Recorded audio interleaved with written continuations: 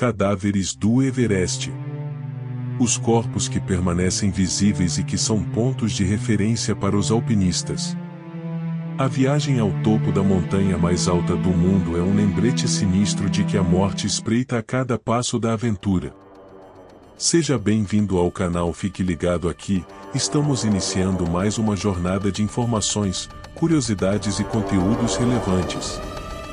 Fique conosco até o fim e se inscreva no nosso canal, ative o sininho para receber alertas de conteúdos novos. Sem delongas vamos ao vídeo. Com 8.849 metros de altitude e temperaturas extremas que chegam a menos 60 graus Celsius, o Monte Everest é um dos lugares mais extremos do planeta e um dos maiores desafios para os amantes da aventura. Todos os anos, centenas de alpinistas partem para a conquista do cume. Esta odisseia implica atravessar glaciares, fendas e cascatas de gelo. E fazê-lo com ventos extremos, a ameaça de avalanches, o perigo do mal de altitude devido à baixa pressão e à falta de oxigênio, e o risco constante de morrer congelado. Muitos não o conseguem. Desde o início do século XX, pelo menos 322 alpinistas morreram na tentativa. Metade dos corpos nunca foram encontrados. Outros apareceram devido ao derretimento da neve e do gelo. Os corpos só são retirados se for possível efetuar um trabalho de salvamento, o que se estima ser possível em 1% dos casos. Em média, morrem 5 a 10 pessoas por ano, mas esse número tem vindo a aumentar na última década, de acordo com a base de dados dos Himalaias. Assim, entre 40 e 50 cadáveres permanecem no local onde morreram e tornaram-se mesmo pontos de referência para os alpinistas nas vias de subida e descida. Os corpos são uma lembrança assustadora dos perigos envolvidos numa tal aventura. Cadáveres tristemente célebres. Botas Verdes é o corpo mais famoso. É o corpo do alpinista indiano Tsevan Paljor, que ali morreu em 1996, com 28 anos de idade. Uma tempestade na chamada Zona da Morte, acima dos 7.900 metros, o matou.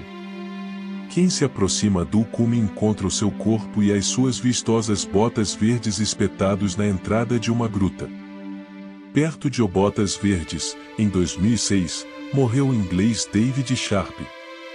O seu caso gerou muita polêmica. Sharp estava em estado crítico e vários alpinistas passaram por ele e não o ajudaram, devido ao risco envolvido. Uma expedição tentou ajudá-lo, dando-lhe oxigênio, mas acabou por ser abandonado.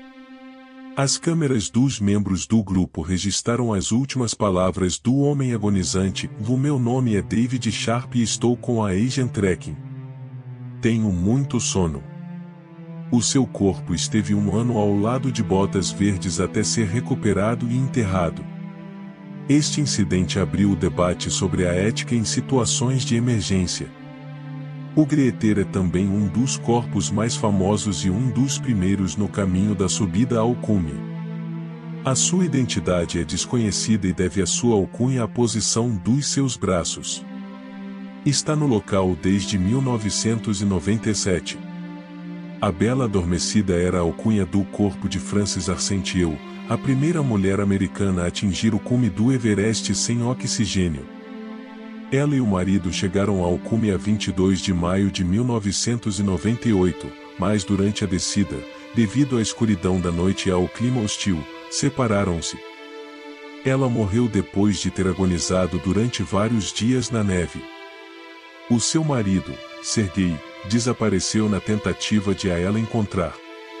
O corpo de Francis esteve visível até maio de 2007, altura em que uma expedição lançou o corpo para o interior da montanha para o retirar da vista.